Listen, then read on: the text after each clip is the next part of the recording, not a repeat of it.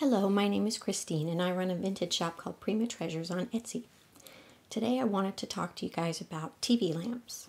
Now, this is not a concept that we have really anymore, but it was very popular in mostly the 50s and the 60s. And it was kind of an unusual, let's call it a fad, because they were making the lamps and they were promoting them as something that you could use to um, reduce eye strain while you're watching TV. Now, there doesn't seem to be any firm science backing that up. I think for the most part it was a marketing ploy, but essentially, because TVs were felt fairly new at that point in time, they felt that having a dark room with a big glowing box in it was somehow going to create eye strain, and that you could use the TV lamp as a way to reduce that situation.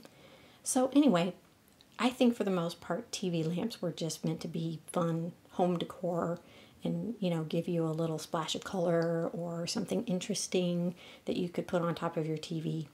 So they made a wide variety of these. They were made by a number of different companies. For the most part, they tend to be ceramic and they tend to be pretty colorful. They are usually animals and things of that sort. Some of them are highly stylized in more of a Art Deco look. Um, but what I have here is just a duck. It's fairly colorful. Um, it's got a nice shiny finish. And you can see that it really looks sculptural. And to my mind, that, that was more the point of it, is to have a, an attractive sculptural piece in your house. So um, basically the way that it works is there's a small nightlight bulb here in the back. And let me demo it for you real quick so you can kind of see the effect that you get from it. So I turn the light out.